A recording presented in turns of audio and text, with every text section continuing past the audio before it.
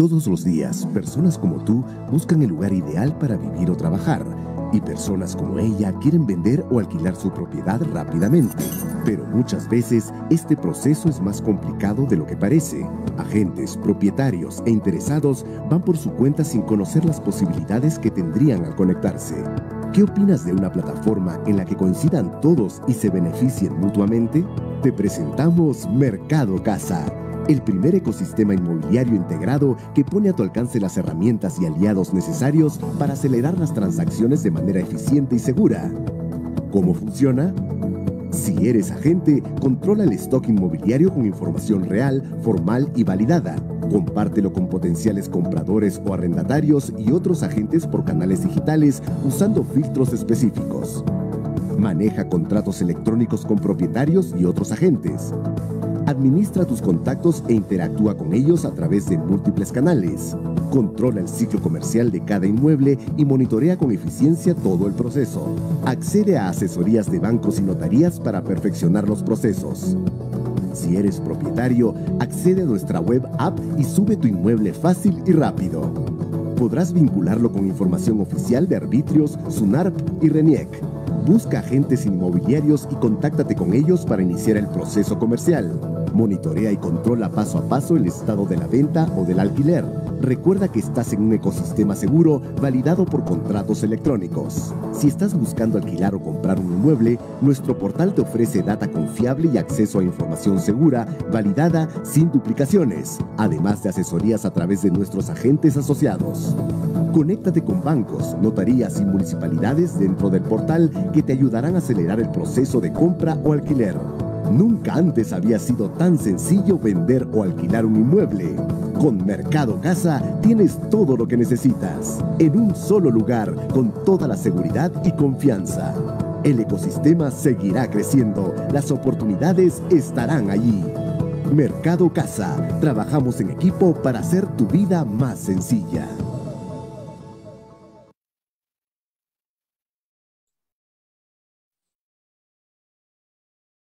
Buenas tardes con todos, amigos.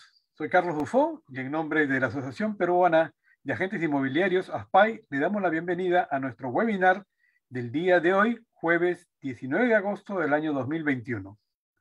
Prosiguiendo con nuestro ciclo de charlas con el auspicio de la Superintendencia Nacional de los Registros Públicos, la tarde de hoy trataremos un tema sumamente interesante. Hablaremos sobre el registro de testamentos y de sucesiones intestadas, para dicho efecto, tendremos la participación del doctor Renato Ruiz Pastor. El doctor Renato eh, eh, Ruiz Pastor es abogado por la, por la Pontificia Universidad Católica del Perú. Tiene una maestría en Derecho Civil y Comercial por la Universidad Nacional Mayor de San Marcos. Él es registrador público en el registro de personas naturales de la sede de Lima y es un experto y vasto expositor continuo en temas de derechos de personas naturales. Démosle la bienvenida al doctor Renato Ruiz Pastor para que comience la disertación el día de hoy. Como ya saben, pueden ir haciendo sus preguntas a través del Zoom o del Facebook Live de ASPAI. Adelante, doctor Renato. Buenas tardes. Buenas tardes. Muy bien. Gracias por la presentación. Eh, eh, antes que nada, agradecer a la Asociación Peruana de Agentes Inmobiliarios por este, esta cordial este, invitación. Igualmente agradecer a la SUNAR, como siempre, por tenerme presente para este tipo de exposiciones. Eh, y un saludo fraterno a todas las personas que están conectadas, que están participando de este webinar. Eh, el objetivo que tengo yo en esta exposición es brindar una visión panorámica de lo que es este, el registro de testamentos, el registro de sucesiones intestadas y su relación con los registros de bienes, ¿no? Con el registro de predios, con el registro vehicular y otros registros de bienes. Eh, mi lenguaje no va a ser técnico, va a ser bastante coloquial. La idea es este, que nos entendamos sin, necesidad de ser abogados. Eh, por otro lado, para la SUNAR es importante este tipo de espacios para conocer la problemática que tienen este, diferentes usuarios de los registros públicos. Em, nosotros a veces podemos estar encerrados en una burbuja, los que trabajamos dentro de registros, y no sabemos las necesidades que pueden tener los usuarios. Tal vez este, hay servicios que no están funcionando, que no son muy claros, que son muy costosos. Entonces, es importante este tipo de espacios para dialogar, para intercambiar ideas. Y en ese sentido yo los invito a, participar ¿no? con, sus preguntas. Eh, en cualquier momento, igual va a haber este, un espacio al final de la exposición para solamente resolver preguntas, sin perjuicio de que me las puedan ir haciendo este, a lo largo de la exposición. Eh, yo creo que esa va a ser la parte más importante. Me imagino que deben tener muchas preguntas sobre, sobre este tema, ¿no? De registros este, de sucesiones que son el registro de testamentos y el registro de sucesiones intestadas, ¿no? Y su relación con los registros de bienes. Bueno, dicho esto, este, empecemos. A ver. A ver, este, recordemos, y lo digo como para este, dar unas ideas así generales y principales acerca de lo que es este, la visión de los registros públicos, ¿no? los registros públicos tienen como finalidad brindar una seguridad jurídica a, todas las personas, a todos los usuarios que tengan este, sus bienes inscritos. Sus situaciones jurídicas, sus contratos, ¿no? Eh, pero lo importante es que los registros públicos lo que hacen es defenderte ante un eventual peligro, ante un eventual conflicto que puedas tener. lo, hay, una, persona que dijo una frase que es bastante gráfica sobre este tema.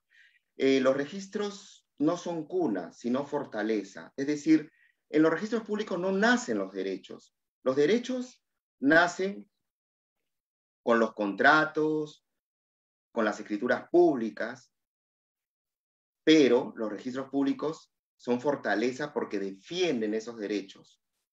¿Ok? Entonces, este, la pregunta es, ¿cómo los registros públicos, cómo defienden esos derechos? ¿De qué manera? A través de lo que se conoce con la, de la publicidad registral, que es que tus derechos están inscritos y cualquiera puede consultar sobre ellos.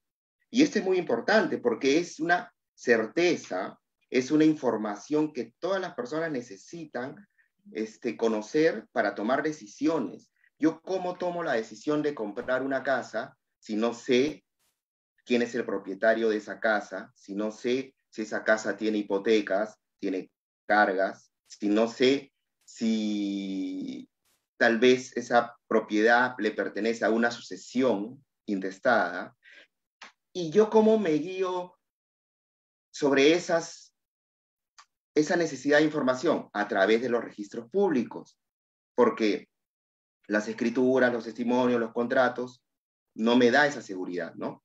Ahora, la publicidad que te brindan los registros públicos es válida, es legítima, mientras que no se demuestre lo contrario. Tampoco va a ser algo absoluto, porque hay muchas situaciones jurídicas que no están regularizadas en los registros públicos y eso no significa que no existan, que no valgan, ¿no? Pero ya hay que seguir los procedimientos para regularizar y rectificar, ¿no? Esa información. Entonces, eh, la publicidad que brindan los registros públicos es la que nos da esa seguridad jurídica que todos queremos, que todos aspiramos. Y esa publicidad es tan importante, no es cualquier publicidad, que si una persona compra una casa y luego un banco le reclama que tiene que pagar una hipoteca y ella le dice, pero yo no sabía que esa casa tenía una hipoteca, eh, ¿qué dice la ley? Que así tú no te diste el trabajo de ir a los registros públicos a consultar si esa casa tenía cargas, gravámenes, hipotecas, se entiende, se te afecta y se entiende que esa hipoteca la conociste porque pudiste conocerla. El hecho de que hayas podido conocer genera como consecuencia legal que has conocido. Es lo que se llama la publicidad registral. Por eso que es importante. Imagínese si no fuera así la ley. Imagínese que las personas se defendieran diciendo, yo no he ido a registros a ver nada, así que yo no sabía simplemente. Y, pruébeme porque yo nunca fui. no funcionaría, ¿no? Por eso que la dinámica, los mecanismos de la publicidad registral es que así tú no hayas sido, se entiende que has conocido porque pudiste conocer, ¿no? Entonces, este, eso es para recordar cuál es la importancia y la visión de los registros públicos. Ahora, eh, los registros públicos, cuando yo digo registros públicos, este, me refiero a varios registros. Yo sé que las personas que están fuera de los registros públicos eh, a veces se refieren a registros públicos como, como una sola, este, un solo lugar donde haces un trámite y listo, ¿no? Sin embargo, hay que conocer que registros públicos por dentro tiene una organización y, y, a veces hay que conocer para saber qué pedir y dónde pedirlo, ¿no? O sea, si yo quiero saber si una persona este, tal vez ha sido declarada interdicta, tal vez este, es una persona que ha designado a un apoyo. ¿Dónde lo hago? En el registro personal.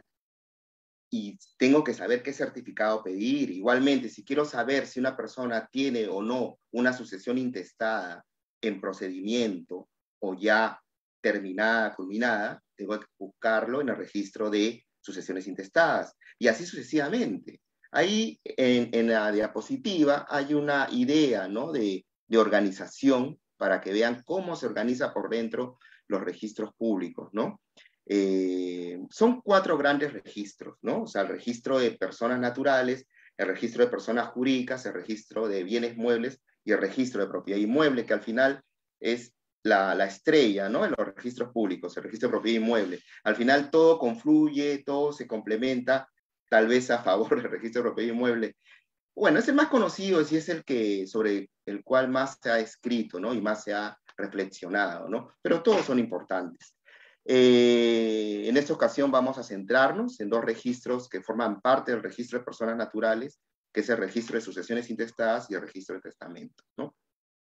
Eh, bueno, entonces, este, como les decía, eh, esos son los cuatro grandes registros, ¿no? Naturales, jurídicas, inmuebles y bienes muebles, dentro del registro de personas naturales que tal vez es bueno aclarar que cuando yo digo registro, por ejemplo, de inmuebles o de predios, significa que toda la partida registral está referida a un predio, a un inmueble, que puede ser una tienda, una cochera, un departamento, un terreno, y toda la historia de ese inmueble está reflejada en una partida.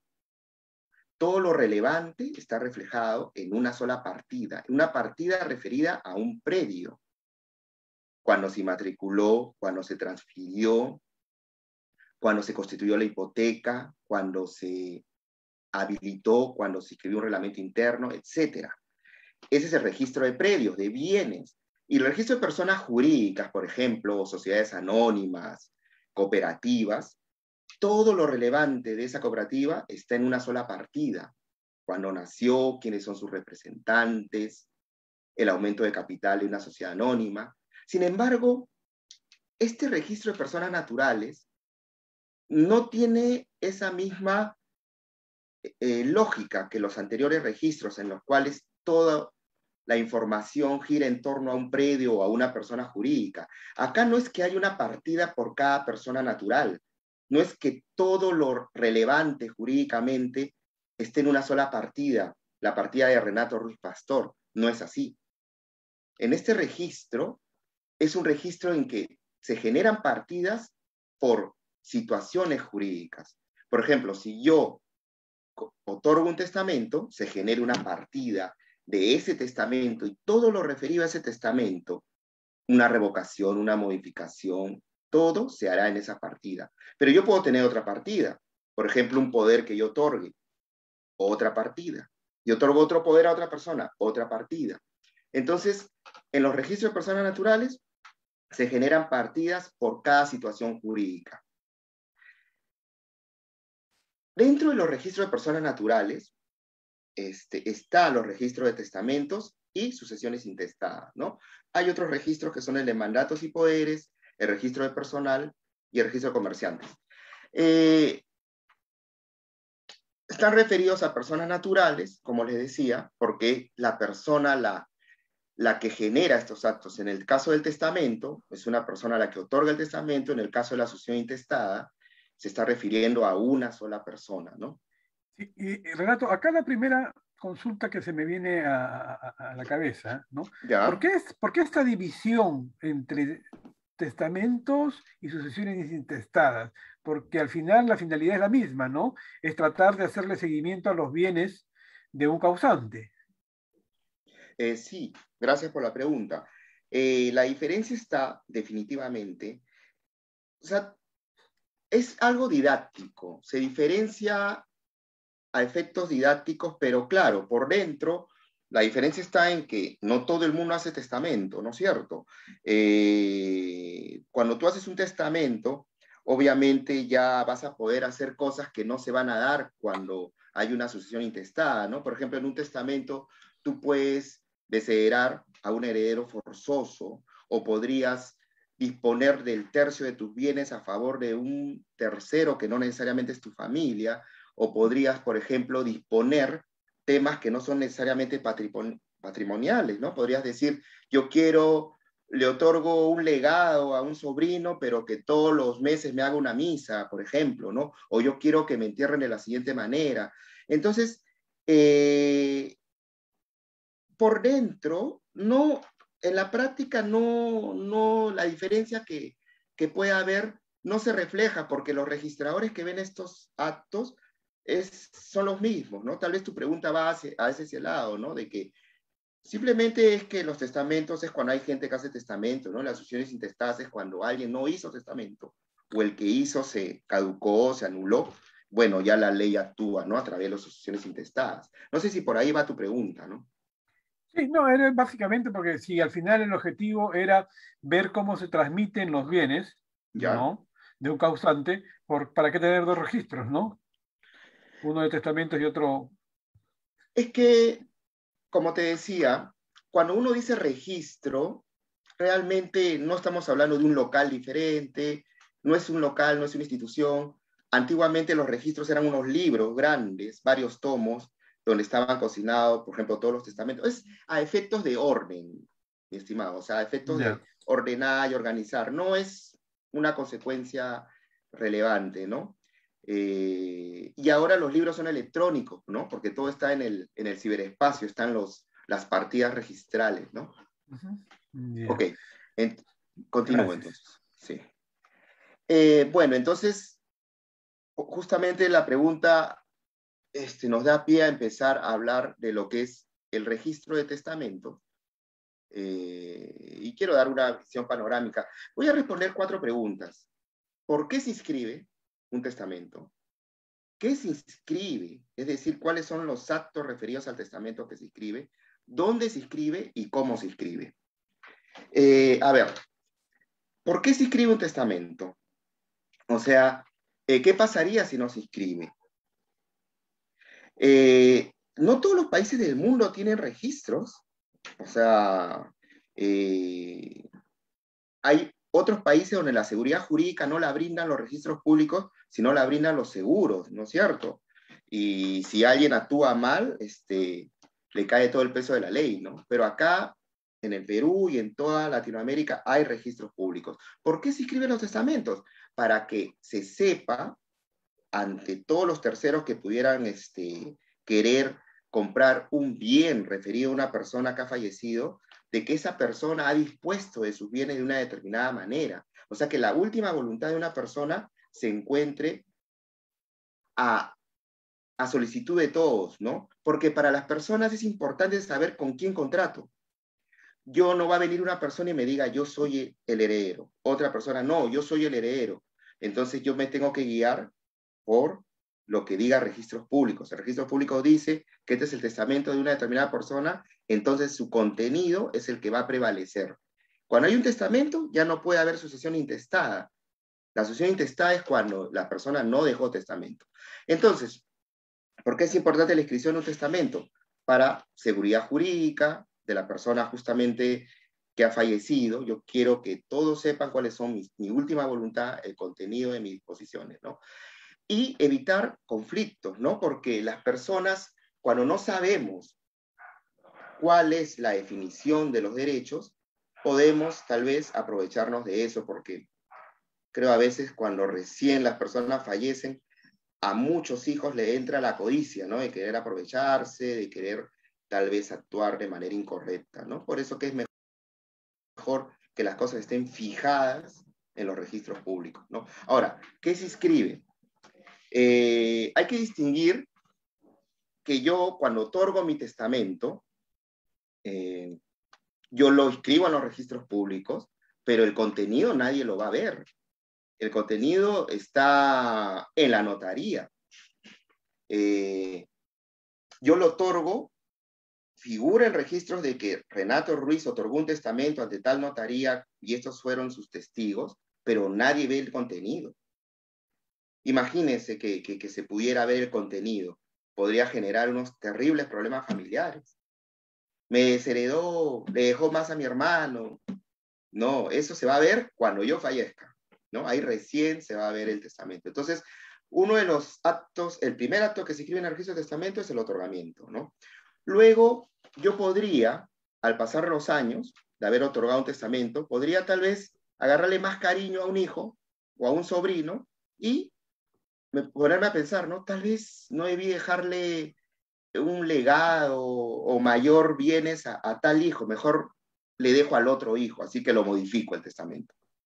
Yo he tenido casos en registros de personas que cada año modifican su testamento, porque parece que de acuerdo a cómo se han comportado con, con esta persona a lo largo del año, sus, sus futuros herederos, lo va modificando. Este, y así es, pues uno puede ir modificando, modificando, modificando y modificando su testamento, ¿no? Eh, y también lo podría revocar, ¿no? Que ya no tenga efectos. Bueno, ¿qué otras cosas se inscriben? Cuando ya una persona fallece y ante el notario se presenta el acta de función y el notario ya manda el parte del testamento completo, ahí, bueno, hay disposiciones testamentarias referidas a quiénes son mis herederos, quién va a ser mi albacea, es decir, quién va a ser la persona que administre mi patrimonio, eh, y también temas que no son patrimoniales. A veces hay personas que en su testamento dicen, reconozco que tengo un hijo fuera del matrimonio, ¿no? Y se llama tal y yo soy el padre, ¿no? O por ejemplo, este, podría yo decir, este, quiero que el, que el día de mi entierro, este, o que me incineren, ¿no? O sea, temas referidos a, a la manera en que quisiera que me recuerden o quisiera que, que sea mi, mi defunción, ¿no?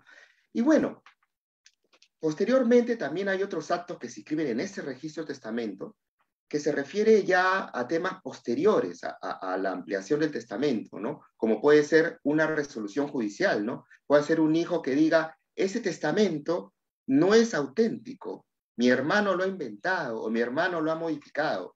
Así que pido la nulidad y entra esa resolución judicial, ¿no? O podría ser que el albacea diga, no quiero ser albacea, me excuso, ¿no? Eh, o renuncio. Y así hay diversos actos que, bueno, no viene al caso comentar todos, pero esos serían los actos más importantes que se escriben en el registro de testamento. ¿Qué se inscribe, no? Lo relevante jurídicamente. ¿Dónde se inscribe? Eh, ¿Dónde se inscribe? Me refiero a qué lugar, a qué oficina registral, porque oficinas registrales hay en todo el Perú, ¿no? Eh, se inscribe en la oficina registral correspondiente al domicilio del testador, ¿no? Donde yo, si yo domicilio en Lima, se inscribe en la oficina registral de Lima. Si yo domicilio en el Callao, se inscribe en la oficina registral del Callao. Y todos los actos posteriores se inscriben en la oficina en donde se haya inscrito pues, el otorgamiento, ¿no? Eh, en el Código Civil todavía no se modifica eh, una disposición que dice que los testamentos se inscriben también en la oficina registral correspondiente a los bienes, a los inmuebles que pueda haber tenido este testador. Pero eso ya ha quedado en desuso, obsoleto, e incluso podría decirse que está derogado tácitamente, porque ahora, existiendo un índice nacional, los registros públicos manejan un índice nacional. Es decir, si se inscribió un otorgamiento de testamento en Trujillo, esa inscripción vale para todo el Perú.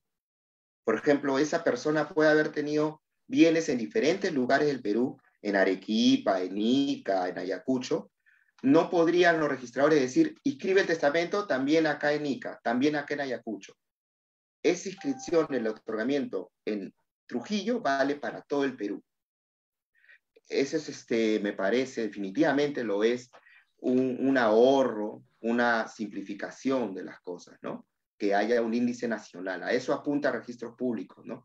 De que ya con el tema de la informática, de las tecnologías de la, de la información, este, puedan este, los registros ser a nivel nacional. Todavía no se han logrado por completo, pero al menos en testamentos, en sucesiones intestadas, la información vale para todo el Perú, ¿no? Eh, personas jurídicas también, una persona jurídica nombre un apoderado vale para todo el Perú. Eh, en cambio, en el registro de, personas, de mandatos y poderes de personas naturales, todavía es referido a una oficina registrada, por ejemplo, ¿no? Ahora, ¿cómo se inscribe?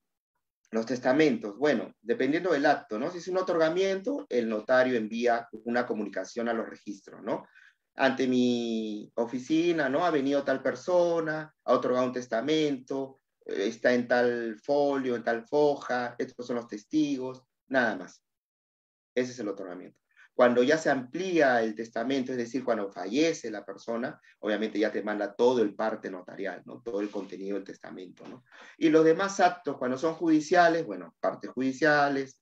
Eh, hay casos, por ejemplo, cuando uno de los herederos que yo había instituido en mi testamento muere antes que yo, antes que el que testó. Entonces, eso se llama caducidad del heredero, ¿no? Caducidad de la institución del heredero ese heredero ha premuerto al testador, por tanto, presentan a registros públicos el certificado de función, entonces ya se entiende que esa persona no puede ser heredera porque murió antes, ¿no? Por ejemplo, ¿no? Por citar un, un ejemplo.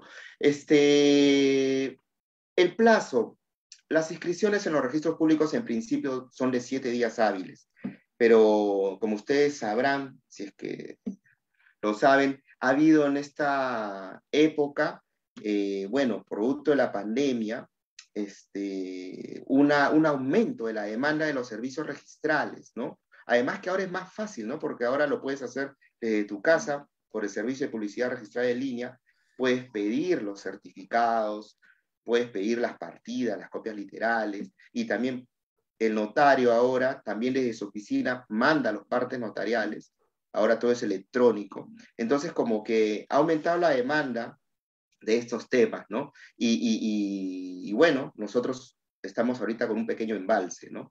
Eh, producto de, bueno, acá hay menos personal, hay mayor demanda, y, bueno, ya estamos ahí tratando de solucionar ese tema, ¿no?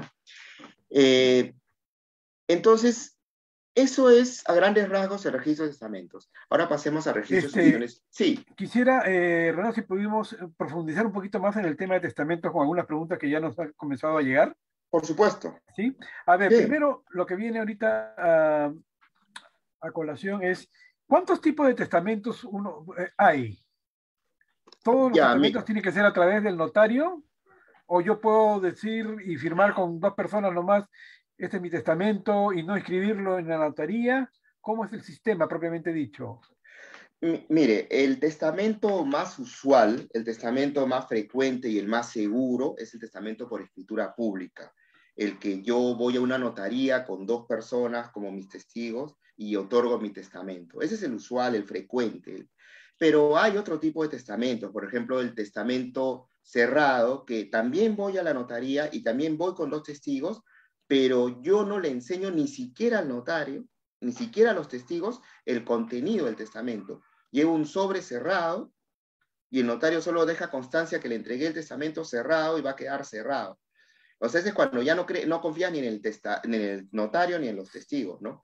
Ese testamento cerrado.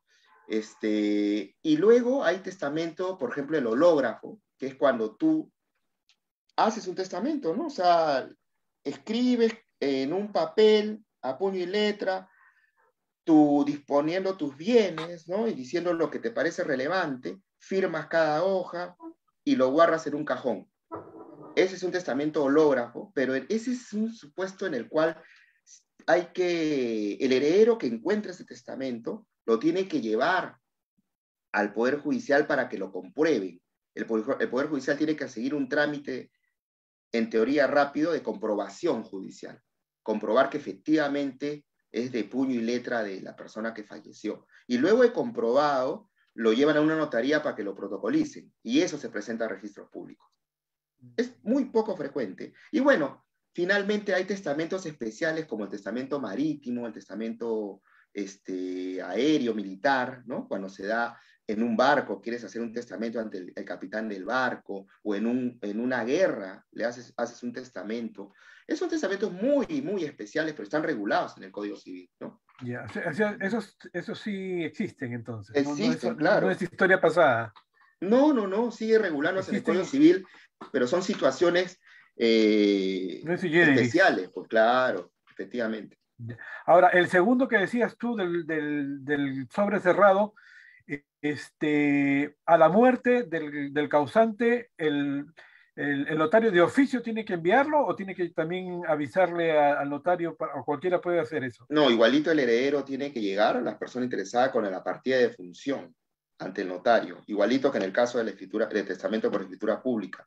Entonces el notario, al, ya le han entregado el certificado de función, ya recién manda es, lo abre y lo manda pues a, los, a, los, registros públicos, ¿no? Pero cualquiera puede, cualquier interesado puede llevar eso a, para que se inscriba o tiene que ser el, No, las inscripciones las tiene que mandar este, el, eh, el notario. Todas las inscripciones que tengan que ver con notaría, o sea, con partes notariales, las remite el notario a través de sus dependientes. ¿no? sí, está bien, pero no, me refiero yo al certificado de defunción que lo llevo yo a la notaría. Por ejemplo, a ver, una persona fallece y le entrega, no tiene hijos y le entrega y hace un testamento nombrando a una, a una sobrina, por ejemplo. Claro. Ya, eh, esa sobrina, que supuestamente es la única heredera, o va a ser la única heredera, es la que tiene que llevar el acta de defunción al notario para que lo, el notario envíe el, registro, o, cualquiera, o cualquiera puede llevar el acta de defunción al notario para que él lo, lo oficialice. Claro, no puede ser cualquiera. El notario tiene que evaluar que esa tenga legítimo interés, ¿no? Tiene que evaluar que esa persona tenga legítimo interés. Eh, no necesariamente puede ser los hijos, ¿no? Porque a veces este, hay otros tipos de legatarios, por ejemplo, ¿no? O herederos voluntarios, que si le acredita al notario que tiene legítimo interés, entonces el notario va a este, remitir esas partes a los registros públicos, ¿no? Al notario lo único que le importa es que le lleven la partida de función y al final el notario no le va a dar los papeles a, a la persona que le lleve la partida de función, sino lo que va a hacer es remitir la información a los registros públicos directamente. O sea, al final no importa quién le lleve la partida de función, sino lo que importa es que efectivamente se compruebe el fallecimiento para que la notaría remita la información a los registros públicos directamente. Y esos, eh, no sé si conozcas, ese hecho de, remitirlo, ¿tiene costos o ya está dentro del momento en que el, el, causante este, entregó el testamento, ya está cubierto eso? ¿Sabes tú? No, bueno, los costos registrales. Los costos registrales actualmente este año es 22 soles otorgar un testamento y ampliarlo también está a 22 soles, ¿no? Esos son los costos registrales, ¿no? Los costos de la notaría ya son otros, ¿no? Este, pero registrales está a 22 soles cada acto que, que, se realice, ¿no? Este año, ¿no? Porque los costos de los registros públicos depende de la UIT, ¿no? Que es algo que va variando anualmente, ¿no? A ver, tenemos algunas preguntitas más. A ver, ¿se puede anular un testamento? Anular, por supuesto se puede anular un testamento en el Poder Judicial, obviamente, ¿no? Pues puedes demostrar que esa persona hizo un testamento bajo coacción, ¿no? Con una pistola en la cabeza. Este, si se pudiera demostrar, ¿no? O que la persona cuando hizo el testamento no estaba en la plenitud de sus facultades mentales también, ¿no? O hay otros temas que no son propiamente de nulidad, sino de que uno podría, como no tuvo una asesoría de un abogado, disponer de sus bienes de una manera fuera del marco de la ley, ¿no? Yo podría dejarle todos mis bienes a mi compadre y no le y no y no y la ley no me permite eso, porque la ley dice que tú tienes herederos forzosos, tienes legítima. Y, y, lo que va a pasar es que obviamente eso se va, se va a anular, ¿no? Por ejemplo. ¿Cómo, se sabe, cómo sabe una persona si es heredero o no?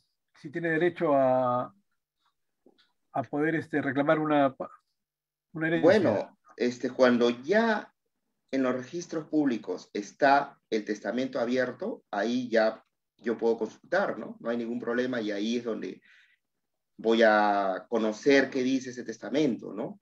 Este, porque no es como en las películas de que el notario llama a todos los herederos y les da la noticia de qué dice el, el, el testamento, así no funciona, ¿no? Se inscribe en los registros públicos, ¿no?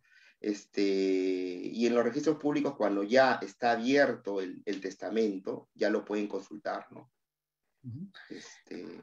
Pero bajo ese, bajo ese sistema, eh, Renato, ahí donde, donde se, me, genera una, una, una, una confusión.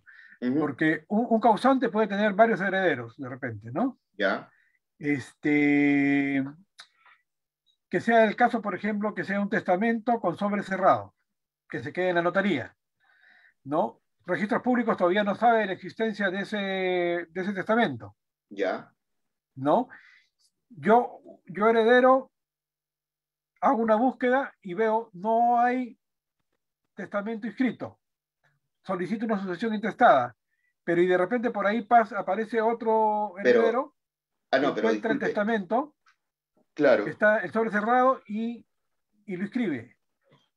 Claro, ahí este, lo que le he entendido es que cuando tú vas a una notaría a otorgar un testamento, ya sea por escritura pública o ya sea un testamento cerrado, ahí nomás en ese momento el notario comunica a los registros públicos mediante un oficio y en los registros públicos se inscribe el otorgamiento. Ah, y eso es lo que va publicitarse, ¿no? Va a publicitarse y evitar de que entren otras cosas posteriores. O sea, el sobre cerrado también se publicita. Se publicita, solamente dice, ¿no? Ante mí se otorgó, ¿no? Me entregó un sobre cerrado, pero obviamente el contenido, que es un segundo, este, una segunda situación, claro, que viene a ser la ampliación, así se conoce, ¿no? En donde ya se ve todo el contenido, pero el primer acto se escribe que como otorgamiento y es el que evita que puedan entrar este, sucesiones intestadas u otras cosas, ¿no? Mm, ya, correcto, correcto. Esa era la duda que se me estaba generando. Muy bien. Eh, Entonces, si se llega a realizar el testamento, pero no se inscribe... Eh, ¿No se inscribe el otorgamiento o no se inscribe la ampliación? No, ¿Podría pasar que no se inscribe el, el otorgamiento? ¿O no? Eh, no, porque el notario, cuando se otorga el testamento ante él, el notario lo remite a los registros públicos. Tiene que remitirlo, tiene que decir que tiene un testamento ahí. Claro, tiene que decirlo. Pues. Sí. Este, las impugnaciones, bueno, ya, ya lo habíamos conversado. Con respecto a los, a los testamentos del extranjero, ¿tiene que cumplir algún requisito especial? Bueno, este, esa, ese es un tema que es un dolor de cabeza porque llegan testamentos extranjeros de diferentes países que registros públicos tiene que escribirlos. Este, cuando llega a través de consulado, porque hay gente que otorga su testamento ante los cónsules, no hay problema, porque los cónsules se rigen por la ley del notariado. Entonces es como si fuera un, un testamento por escritura pública ante notario, igualito es ante el cónsul de diferentes países, no hay problema. El problema es cuando hay un testamento otorgado ante un notario extranjero, ante un notario sueco, holandés, de Nueva York. Entonces, nosotros, imagínense, tendríamos que verificar si se cumplió o no con los requisitos previstos en la legislación de ese país.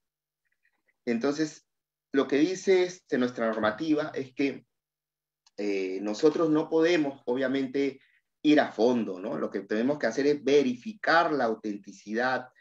Si, por ejemplo, hay la cadena de legalizaciones o lo que ahora se conoce como la postilla, que es como una firma única hecha por un funcionario de cada país y, que, bueno, nosotros ahora tenemos la opción de consultarlas en páginas web para verificar la autenticidad, ¿no? En otras palabras, registros públicos verifica las formalidades como le dicen, extrínsecas, es decir, si, si todo es auténtico, ¿no? Pero ya meternos al contenido, meternos, oye, pero ¿cómo acá dice que estuvo casado con, con tres personas? Bueno, no sé cómo será en ese país, qué sé yo. O entonces este, ya no te puedes meter a ese, a ese, al, al, contenido, ¿no? Solamente a las formalidades extrínsecas. Pero sí se inscribe. Y, y, y la, el procedimiento es igual que cualquier otro procedimiento de testamentos en el Perú. Solamente que la validez y la legalidad se va a realizar en función a las formalidades, ¿no? Y sí tenemos que conocer la legislación de ese lugar en cuanto a las formalidades, ¿no? Yo sé que Nueva York tiene que el testamento ser homologado por el juez y le exigimos eso, ¿no? Ahora, dime, este, ya, se hizo el testamento, el, notario, ante, por escritura pública ante notario, el notario lo, lo, mandó y ahí le avisó a registros públicos y en los registros públicos aparece que hay un testamento en la notaría tal. Fallece el causante. Uno de los herederos lleva la partida de función al, al, ¿cómo se llama? Al notario y el notario manda a los partes para que se escriba el testamento. Ya. ¿Qué pasa ahí? De oficio se hacen los traslados al, al y ya vamos a este, en este caso la pregunta va dirigida al tema de los bienes inmuebles. De oficio se pasa a, lo, a las partidas este, del registro de propiedad, los cambios eh, de titularidad. Claro, justo vamos a entrar a, a, esos temas. No sé si te parece que continúo y de ahí te respondo la pregunta porque vamos a entrar justo a ese tema de sucesión intestada en su relación con propiedad. Ya, listo, terminemos ya, entonces con excelente. sucesión intestada. Sí. Listo, gracias. Entonces, este, a ti, gracias. Eh, igualmente, así como he dado unas pinceladas del registro de testamentos, ahora quiero hacerlo con el registro de sucesiones intestadas. Eh, ¿Por qué se inscribe las sucesiones intestadas? Para que haya, para que no haya conflictos, ¿no? Porque a veces hay hijos de diferentes estirpes, ¿no? De diferentes padres, y a veces cada uno quiere hacer su propia sucesión intestada porque cada uno o cada rama de o cada, hijos de diferentes padres quieren hacer su propia sucesión intestada, ¿no? Entonces, este, justamente la primera que tú vas a una notaría, presentas tu minuta para hacer tu, pidiendo la sucesión intestada, el notario inmediatamente, luego que verifica los requisitos que se hayan cumplido, lo manda a los registros públicos y esa es la que manda. Es la que primero entró, es la que va a mandar. Si por ahí otro heredero se enteró, porque estaba haciendo también su propia sucesión, de que ya está inscrita el inicio de una sucesión intestada, tiene que ir a esa notaría, pues, y decirle al notario, oye, yo también soy hijo, mis hermanos me quieren dejar de lado, así que me apersono también acá para que también me nombres como heredero, ya que está mi partida de nacimiento. Entonces, ahí ya pues el notario, si los otros no se oponen, ya pues no hay problema, pero si se oponen y el notario dice, ya, acá yo ya no puedo hacer nada, lo manda al Poder Judicial, ¿no? Pero bueno, para eso sirve este, registrar las sucesiones intestadas, ¿no? No solo el resultado, es decir, lo que llamaban la declaratoria de herederos, sino desde un comienzo, que es lo que le llaman la anotación preventiva. Es un nombre técnico que utilizamos dentro de registros públicos, pero no es otra cosa que el inicio de un procedimiento de sucesión intestada. Y, le hice preventiva que nadie sabe en qué va a terminar. Tal vez al final se termina levantando ese tema, es decir, cancelando, ¿no? Eh, luego está, ¿qué otra cosa se inscribe en este registro? La sucesión intestada ya propiamente dicha y definitiva, donde el notario declara quiénes son los herederos. Puede ser ante notario o puede ser ante un juez, ¿no? Ante un juez ya es difícil que las personas vayan, ¿no? Porque si bien es cierto, es mucho más económico, en términos de tiempo, obviamente es más rápido ante un notario, ¿no? Entonces, si el tiempo es dinero, entonces al final tal vez es más barato hacerlo ante un notario, ¿no? Eh, ¿qué, ¿qué, se inscribe? Bueno, lo, se inscribe también, este, por ejemplo, eh, a veces hay hijos que se enteran que hay una sucesión intestada ya definitiva y que no lo han comprendido, ¿no? Entonces el hijo lo que hace, y es usual, eh, eh, ir al Poder Judicial y pedir que lo incluyan en una sucesión intestada, porque ha sido excluido, ¿no? Y eso suele pasar cuando son hijos de diferente padre, ¿no? Este, que lo excluyan, ¿no? Este, y eso se llama petición de herencia, quiero que me incluyan, ¿no? Eh, bueno, ¿dónde se inscribe? A diferencia del registro que se inscribe en la oficina que corresponde con el domicilio del testador, En ese caso se inscribe en la oficina registral que corresponde con el domicilio, el último domicilio que tuvo ese causante.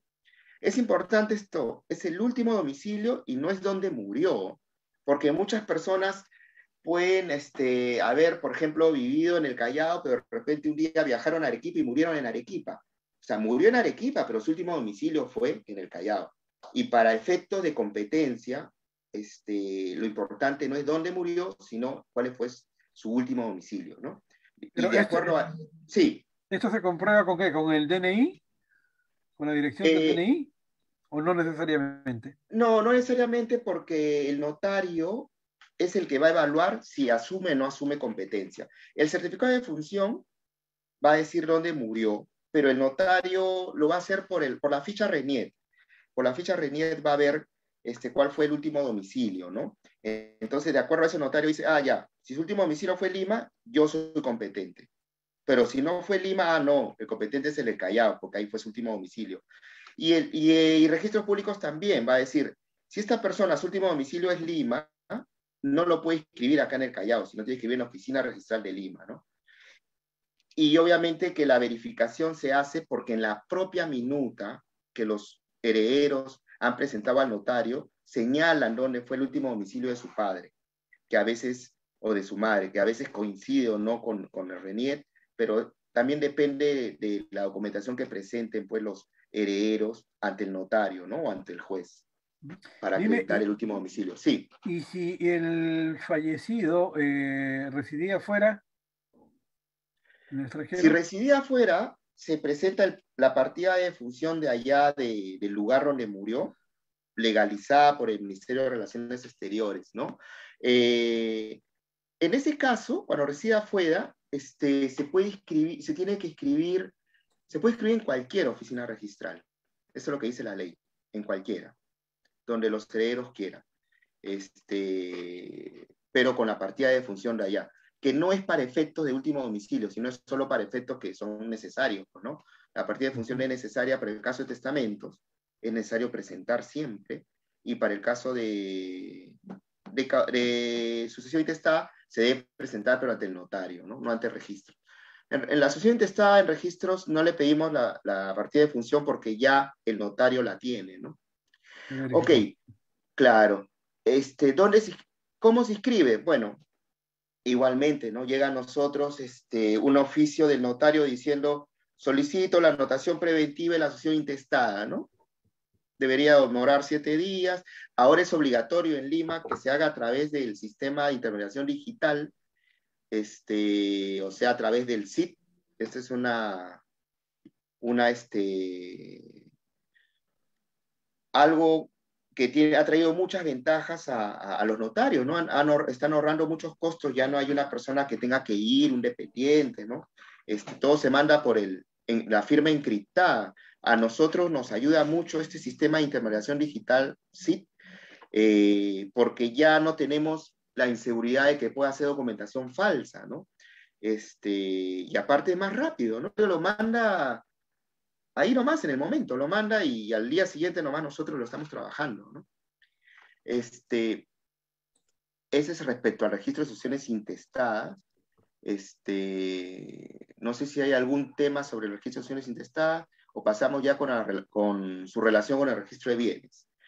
Eh, a ver, lo que debe dejar o debe quedar claro es de que no se puede inscribir ningún derecho ninguna titularidad que derive de una sucesión, sea testamento, sea sucesión intestada, si es que previamente no se inscribe esta sucesión intestada o ese testamento. Yo no puedo decir, quiero que me inscriban este, mi titularidad que me corresponde porque he sido declarado heredero, así que yo debo estar como titular de este inmueble, este, si es que no está previamente inscrito ese testamento o esa sucesión intestada.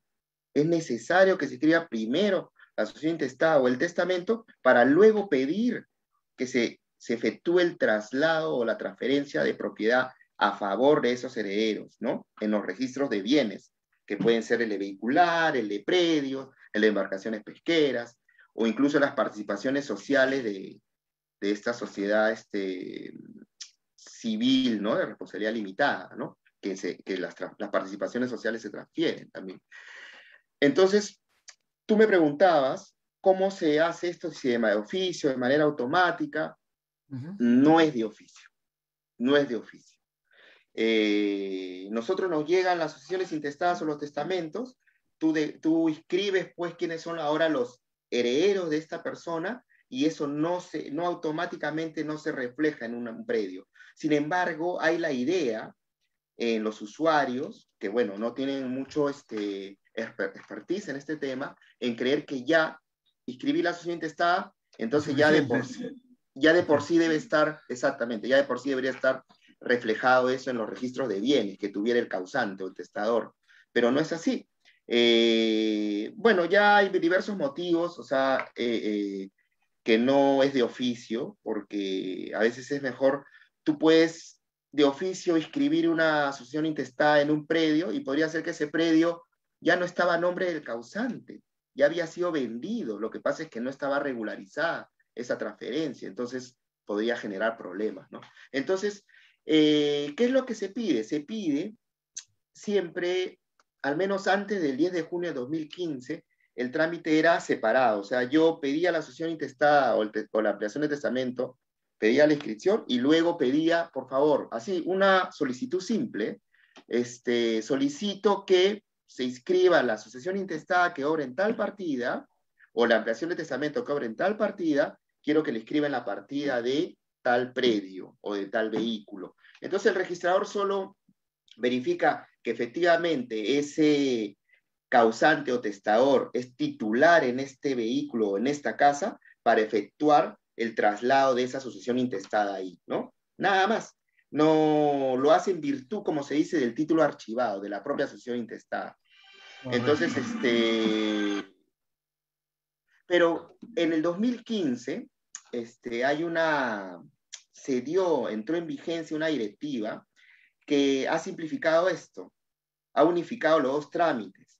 Es decir, ahora el notario cuando te pide escribir una sucesión intestada, eh, te puede poner en, la, en el formulario, solicito también que se haga el respectivo traslado de dominio en el predio de partida número tanto.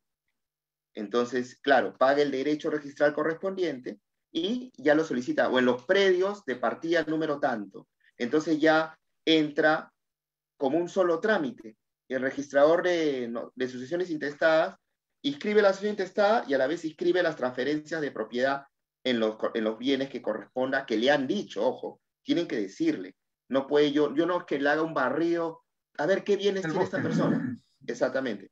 Me tiene que decir y me tiene que poner el número de partida, ¿no? ¿Cuáles son los presupuestos para que funcione esta directiva? Es que la oficina sea la misma. Por ejemplo, si la sucesión intestada se tiene que escribir en Lima, los predios tienen que ser de Lima para yo poder hacer todas esas inscripciones. Porque si los predios son del Callao, yo no soy competente para inscribir los predios del Callao, ¿no? Tendría que, que escribir solo la asociación intestada y decirle al usuario, anda, presenta al registro del Callao o dirige tu solicitud al registro del Callao, yo hago la asociación intestada, ¿no? Pero si estuviera en varias zonas, podría de oficio, bueno, o con este trámite registrarla desde Lima, y si hay, no sé, en Piura, en, las, en, en la zonal Junín, tendría que ir directamente. Bueno, como ahora es electrónico, este, el notario lo puede mandar, electrónicamente manda la, la, solicitud, ¿no? Este, pero ya no es que tengas que ir físicamente, porque ahora tú puedes mandar la solicitud diciendo, solicito, como ya se inscribió en Lima la sucesión intestada, entonces ahora solicito que se inscriba la transferencia de propiedad en virtud de la sucesión intestada ya inscrita en Lima, ¿no? Pero lo tiene que dirigir ante el registrador de, de Junín o de Arequipa, porque es el competente para inscribir las transferencias de propiedad de los predios de esas zonales, ¿no es cierto? Pero primero tiene que estar inscrita la sucesión intestada en Lima, ¿no? Eso sí. Pero el de Lima no puede hacer esas, esas este, inscripciones de esos predios, ¿no? Ahora, este tema del trámite unificado que, me, estás comentando, ¿el notario lo tiene que hacer de oficio, lo da como un servicio? Porque te comento esto, yo el año pasado, a principios de este año, hice una sucesión intestada. Ya. Ya, y terminé yo presentando yo mismo en Ventanilla, en, en, Domingo Cueto, mi solicitud para pasar la, la, asociación intestada al predial, al, al registro de predios, porque el notario no lo hizo, o nunca me enteré. es que el notario, sí, el notario no lo hace de oficio. O sea, tú le tienes que decir al notario. Tú le tienes que decir al notario y el notario te cobra, ¿no? Te cobra, digamos, porque el notario te va a decir, ah, ya, pero me tiene que traer un, las copias de la partida para yo saber si efectivamente la partida corresponde con el causante. O sea, te hace como un pequeño procedimiento, ¿no? O sea, pero si usted no quiere pagarle al notario, puede esperar nomás que se inscriba la asociación intestada y simplemente usted mismo pedir, ¿no? A registro público con una hojita, quiero que traslade la asociación intestada. ¿Ese, trámite ya está en línea o tiene que ser necesariamente físico, presencial? Sí, no, si lo hace usted, tiene que ser físico, presencial. Pero si lo hace el notario, lo hace digital, en el propio formulario. Correcto. En el propio formulario, sí. Eh, este, ya, este, yo, en este momento podemos ya centrarnos en las preguntas que hayan hecho. Este, vamos a hacer un, un, barrido a ver con las que se han estado llegando. Vayamos por las que han llegado al Facebook a ver. Eh, ¿Se puede impugnar un testamento? ¿Hasta cuánto tiempo después de registrado? Eh, bueno, ese es el plazo para impugnar un testamento. Este, ya es un tema judicial, ¿no? Es un tema judicial. Eh, yo pienso que es el plazo que tiene una acción personal, es decir, 10 años. Este, Sí, sí, sí, sí, sí. Este, ya es un tema judicial porque también hay que pensar que la impugnación puede tener diversas causales, ¿no? Porque a veces el, testamento puede ser nulo, que son unas causales más graves, o puede ser anulable, que son otras, otro tipo de causales, ¿no? Este, entonces hay que evaluar judicialmente cuál ha sido el problema que ha tenido el testamento, ¿no? Porque también hay otras acciones que no son propiamente nulidades o anulabilidades. Hay otro tipo de acciones también, ¿no? Este, caducidad también, hay una caducidad del testamento, ¿no? Que es cuando, por ejemplo, este, una persona que fue declarada este, heredera murió antes que el testador, ¿no? O también este, hay otro tipo de situaciones este, cuando, por ejemplo, el testamento no dejó ningún heredero, a veces no dejas herederos, ¿no?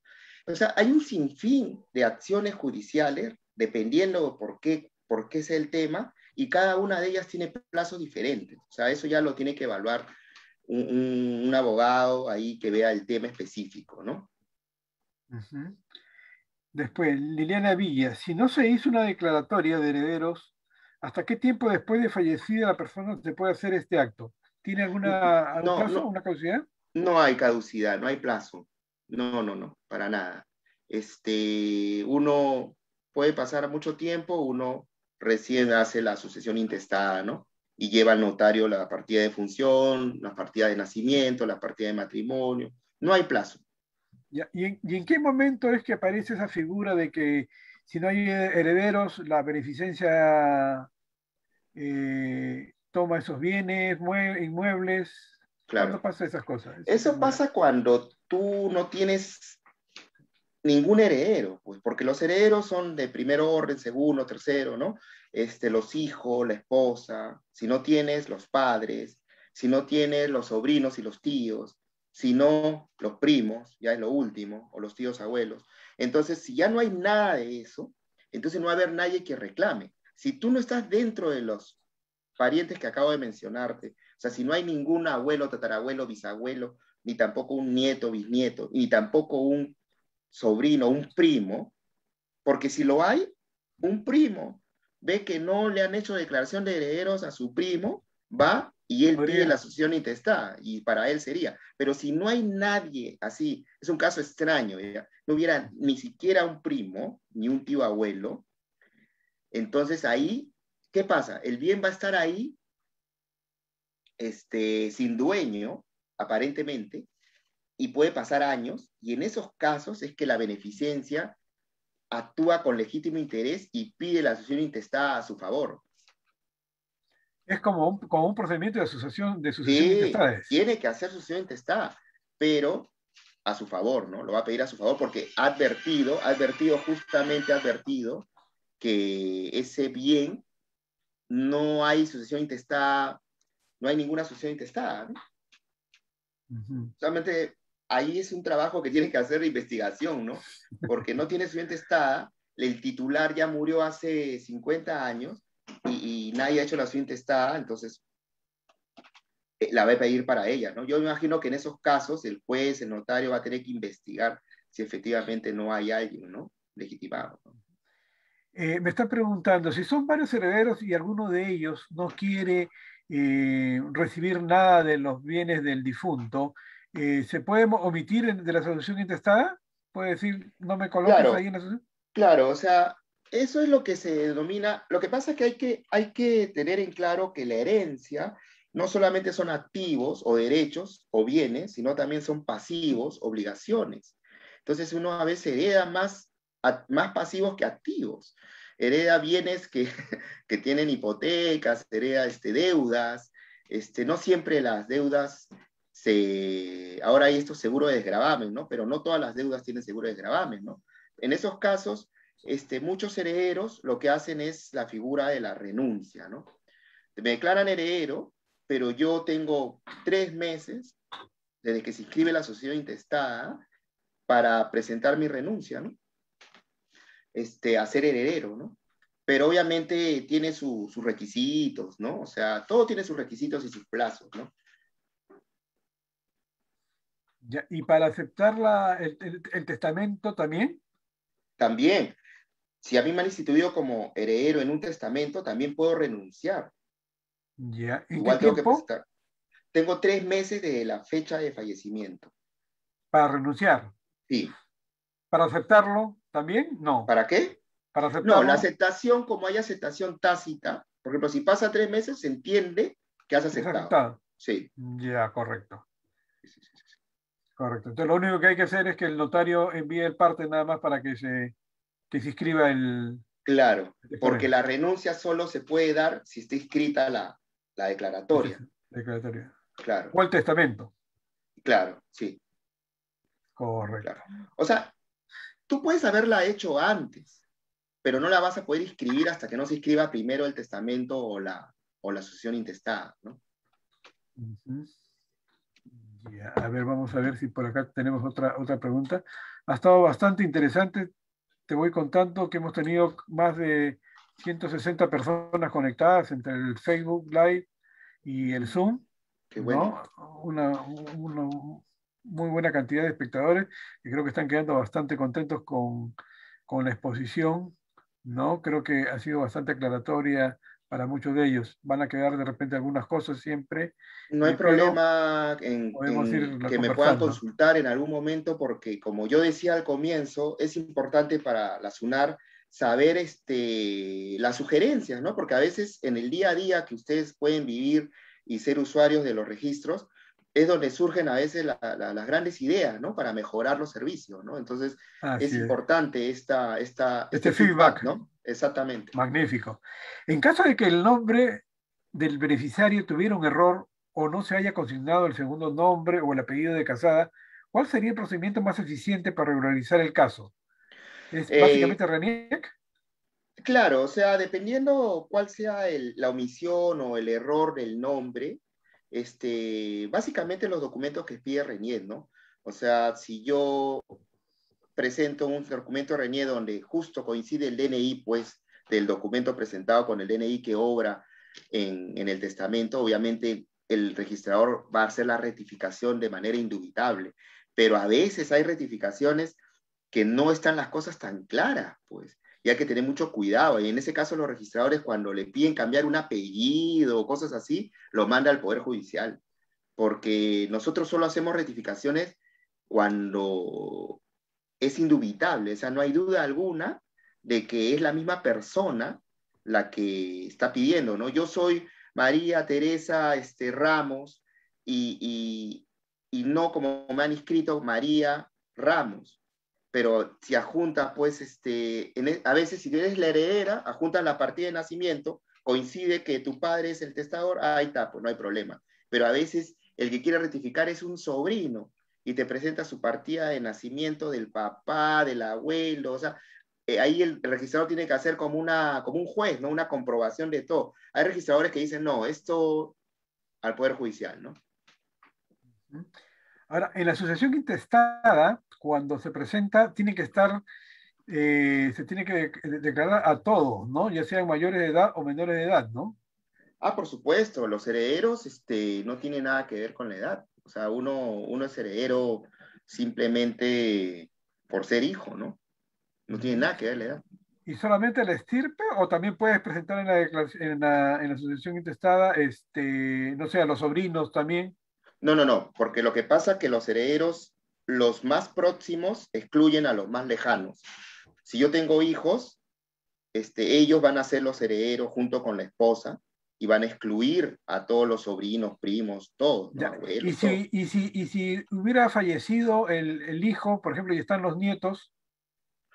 Ya, si falleció el hijo y yo, no, y yo tengo, ahí el heredero es el nieto, junto con la esposa el nieto este, es un heredero. Todos los descendientes son herederos directos. Ya, o sea, sí, sí, ahí sí podría incluir. Sí, ahí sí, claro, claro. Lo que pasa es que hay otro supuesto cuando yo tengo dos hijos, pero uno de ellos ha fallecido antes que yo y tengo nietos, pero a la vez tengo otros hijos, ahí heredan mis dos hijos vivos y mis nietos también heredan en representación de, su padre, que murió antes que yo. Heredan como si fueran su padre, ¿no? Entran, o sea, ahí sí no son excluidos, entran, junto con los hermanos, con los tíos, digamos. En la parte que le correspondía a su padre. Exactamente, en la parte que le correspondía a su padre, sí. ¿Los hijos nomás o la esposa también? La esposa del hijo no. La esposa del hijo no. Mi ah, esposa sí. Mi esposa sí hereda, pero la esposa de mi hijo no. Porque ah, este, este, es, un beneficio para la estirpe, para la familia. Este, se benefician los, porque esos nietos son también mis herederos. No, la esposa no entra. Mm, ya. O sea que esa parte, esa parte, ponte que fueran tres herederos, tres, tres hijos. Murió uno de ellos, ya, y que tenía dos hijos. Ajá. Ese tercio de ese hijo fallecido se reparte solamente entre los dos hijos, nada más. Exacto, con mis dos nietos, ¿no es cierto? así es, claro, que serían los dos nietos. Nada más. Nada más. La esposa no entra ahí. Ahora, pero esa es mi herencia. Pero la herencia de ese hijo muerto antes que yo, esa sí va a ir a la esposa. Ah, claro, eso sí. Claro, sí, Sí, sí, Correcto. Bueno, mira, se pone muy interesante el tema, sigue llegando las preguntas, pero tenemos un compromiso con el tema de la hora. Sí, no hay quiero, problema. Quiero terminar con una última, a ver, por favor, eh, preguntita, eh, que sería la siguiente. Si el fallecido compró un inmueble en proyecto, ¿ya? y aún no estaba independizado ni inscrito, cuando fallece, ¿cómo deben de proceder los herederos de la sucesión intestada? Eh, bueno, a ver, si los herederos han heredado ese, ese, este, ese terreno, ese proyecto, porque ese proyecto, o sea, yo no, yo entiendo proyecto como un terreno, ¿no? un este departamento que está por construir, que se está construyendo, ¿no? Por ya, ejemplo, ¿no? Ya, claro. Bueno, ellos van a ser los titulares, ¿no? O sea... Hasta que, hasta que se escriba, ¿no? Porque me imagino que va a terminar, que está un proyecto, hay un contrato de compraventa, ese contrato de compraventa cuando esté construido, cuando esté la declaratoria de fábrica, se va a asignar al, al fallecido, al causante, ¿no? claro, o sea, definitivamente los herederos heredan ese, esa titularidad, porque es una titularidad, ¿no? O sea, eh, me, o sea, creo entender que se refieren cuando si el, la persona que murió compró en planos, ¿no? Así es. Ya, claro, este, es, es una propiedad que está sujeta obviamente a la existencia del futuro departamento. Obviamente eso lo heredan los, los, hijos, ¿no? Pero siempre y cuando el, el departamento llegue a existir, ¿no? Cuando llegue a existir ya. Claro, claro. Obviamente, listo.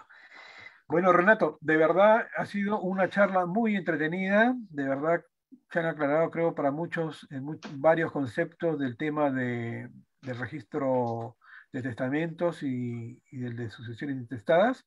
Agradecerte en nombre de ASPAI eh, tu participación en este webinar, agradecer a, Harold, el superintendente de los registros públicos, que ya sabemos que se está recuperando de salud después de su, de su convalecencia y su mala suerte, entre comillas, por la pandemia, ¿no? Y, y, bueno, este, esperemos pues seguir contando con la participación de ustedes y como agradecer también el ofrecimiento que has hecho de que si hay algunos amigos que tengan alguna consulta adicional, yo de repente por el interno te los pasaré para ver si es que nos puedes seguir apoyando con eso, mi estimado Renato. No hay ningún problema, a mí me es importante porque me hace pensar las preguntas, porque a veces me dan casos que como yo no estoy en la práctica, en el otro lado, a veces uno no ve las cosas de otra óptica y es importante, ¿no? Pero siempre y cuando sean consultas así abiertas, generales, tampoco van a presentar... Casos este, específicos, así es, no te preocupes. Claro, 20 documentos ahí. no, te este, no, te agradezco, te agradezco. No, a ti, este, Renato, ya, de verdad. Muy bien. Muchas gracias. Ya, este, amigos, entonces nos estamos viendo el próximo jueves, que tenemos un tema muy interesante también para tratar a las 5 de la tarde. Vamos a hablar sobre el tema de lavado de activos y su implicancia en el negocio inmobiliario, sobre los, las acciones y los controles que tenemos que tener los agentes inmobiliarios eh, con este tema del lavado de activos. Hasta el próximo jueves. Gracias nuevamente, Renato. Chao. gracias.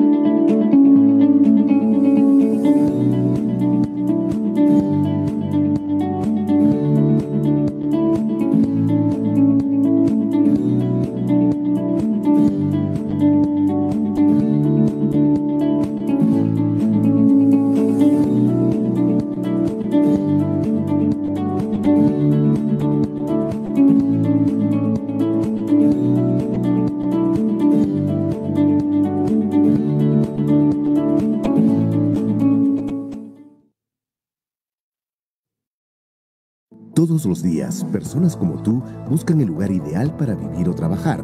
Y personas como ella quieren vender o alquilar su propiedad rápidamente. Pero muchas veces este proceso es más complicado de lo que parece. Agentes, propietarios e interesados van por su cuenta sin conocer las posibilidades que tendrían al conectarse. ¿Qué opinas de una plataforma en la que coincidan todos y se beneficien mutuamente? Te presentamos Mercado Casa el primer ecosistema inmobiliario integrado que pone a tu alcance las herramientas y aliados necesarios para acelerar las transacciones de manera eficiente y segura. ¿Cómo funciona? Si eres agente, controla el stock inmobiliario con información real, formal y validada.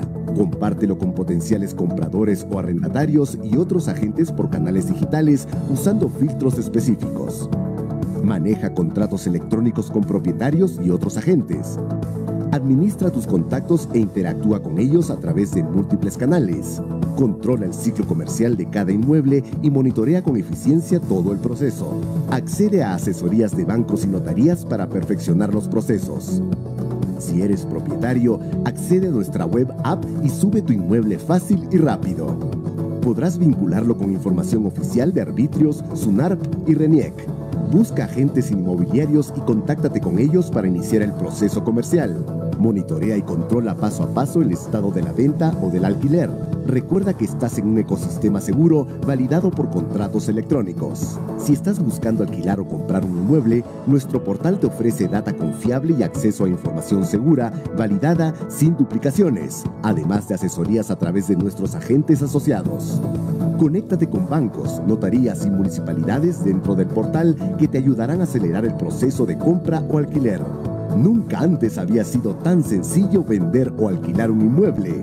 Con Mercado Casa tienes todo lo que necesitas, en un solo lugar, con toda la seguridad y confianza. El ecosistema seguirá creciendo, las oportunidades estarán allí. Mercado Casa, trabajamos en equipo para hacer tu vida más sencilla.